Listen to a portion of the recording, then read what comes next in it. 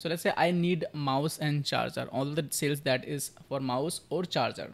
So i can simply go ahead and click this icon and you can select it from here or you can select it from here. You can just go here and you can say equals. Okay we can say equals or you can say contains. So we can say contains and we can say it has mouse. Okay. And you can add more logic. You see right now it's filtering the mouse only but we need more. Either mouse or we want charger right so here also we need to select contains.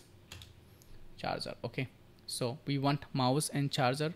You can use the contains. So you need to just make sure the text is entered properly. So anywhere we have mouse or charger it is going to give you the data. If you say n it's not going to give you the data. Now you can write in the comments why.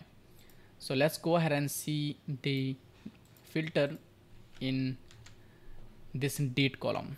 So we can go ahead and select this and you can select here and you have all these options. Today yesterday tomorrow or next month last month. So the most favorite one for me is the last month. If I select the last month it's going to filter the data last month considering from the today.